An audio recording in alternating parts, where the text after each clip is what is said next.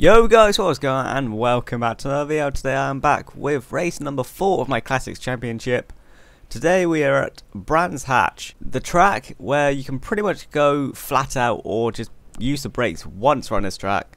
I'm not too great at it, but nevertheless we're going to go to qualifying.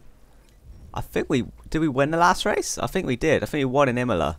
So hopefully we can continue and get some decent points. Now let's concentrate on this qualifying lap. Okay, so the end of qualifying, we get P3, just losing out to Ferraris. I was not expecting that. I thought we'd be down in 6th place or something, losing to maybe even the Williams. Nevertheless, let's go to the race and see if we can get yet another podium.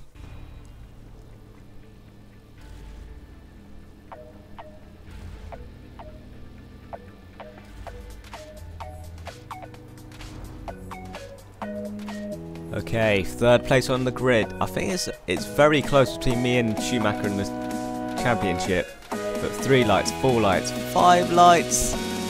Lights out and away we go, and it looks like we've got to start over Berger. We're going to take him off line up into second place.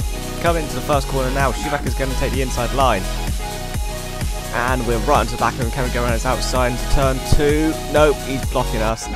Although he is very slowly on the inside line. We're going to try on the outside try and get the undercut, but we get a little bit sideways.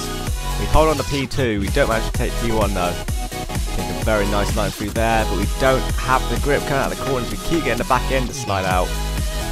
Okay, end of lap one. Schumacher seems to be pulling away. It doesn't look like we've got the pace. I mean, we're staying ahead of Berger and almost running wide at turn one.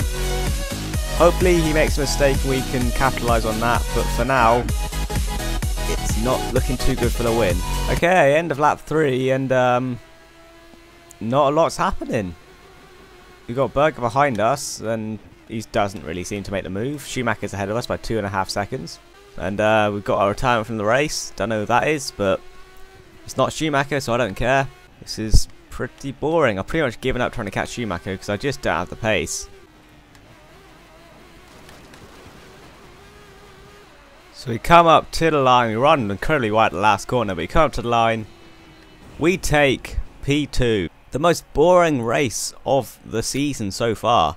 I mean, we took Berger off the line, and that was about it. 3.8 seconds behind Schumacher.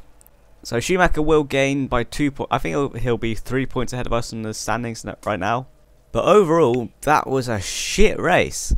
Well guys, thank you for watching this video. If you did enjoy, to smash like and subscribe if you're new on here. I'll see you next time where I will be at Jerez. Another classic track which I really really hate. Hopefully it'll be a bit more interesting than Brands Hatch. But yeah, until next time guys, see ya!